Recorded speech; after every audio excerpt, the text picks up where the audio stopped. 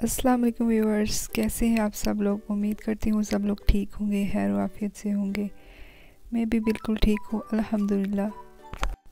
तो video start करने से पहले आप लोगों से सिर्फ़ यही रिक्वेस्ट है कि अगर आप मेरे चैनल पर नए हैं तो काइंडली मेरे चैनल को सब्सक्राइब करें और बेल नोटिफिकेशन ऑल करें।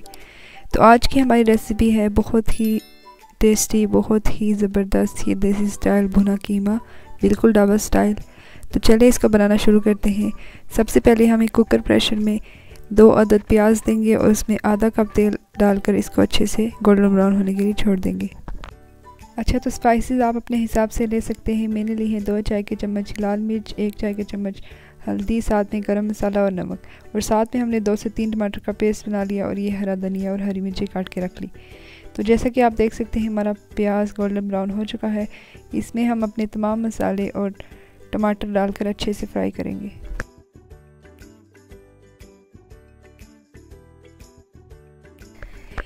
इसके बाद जो हमने हरा धनिया और हरी मिर्चें काट के रखी हैं, वो हम अपने टमाटरों में शामिल कर लेंगे और इसको दो से तीन मिनट तक भूनेंगे। इतनी देर भुनना है कि पानी थोड़ा खुश्क हो जाए। इसके बाद हम एक चाय का चम्मच इसमें शामिल कर लेंगे। अदरक पाउडर, इसका टेस्ट बहुत ही अच्छा होता है और खाने में बहुत ही ज़्यादा खुशबू डालता है। साथ ही हम शामिल कर लेंगे एक से आधा चाय का चम्मच अपना लहसुन पाउडर। अगर आपके पास लहसुन, फ्रेश लहसुन अवेलेबल है तो आप वो भी ऐड कर सकते हैं। मेरे पास फ्रेश लहसुन नहीं था, इसलिए मैंने लहसुन पाउडर इसमें शामिल किया है। दोनों का टेस्ट ऑलमोस्ट सेम ही होता है। इन दोनों को मिक्स करेंगे और अच्छे से भूनेंगे। अच्छा तो हमने कीमा ले लिया है डेढ़ के जी और साथ में हमने चार से पाँच अदद बड़े आलू लिए हैं और इनको हमने बड़े बड़े स्लाइसिस में काट लिए हैं। आप जब भी कीमा बनाएँ तो इसमें आलू लाजमन शामिल किए क्योंकि आलू के बिना कीमे का उस तरह से टेस्ट नहीं आता। क्योंकि हम बिल्कुल एक देसी स्टाइल एक ढाबा स्टाइल कीमा आलू बना रहे हैं तो आलू कीमे को हमने एक साथ शामिल कर लिया है और इसको उस वक्त तक भूनेंगे जब तक इसका कलर चेंज ना हो जाए। तो आप देख सकते हैं कि कीमे का कलर चेंज हो चुका है और ये ब्राउन होना स्टार्ट हो गया है।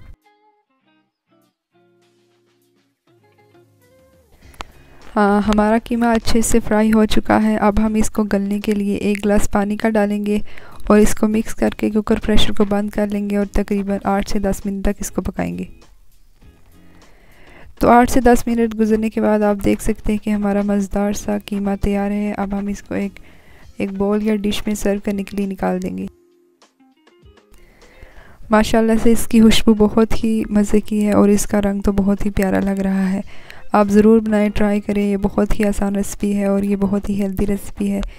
बच्चे भी शौक़ से खाते हैं, बड़े भी शौक़ से खाते हैं। आप बनाएँ इसको तंदूरी रोटी या नान के साथ। खाएँ तो बहुत ही ज़्यादा टेस्ट आएगा।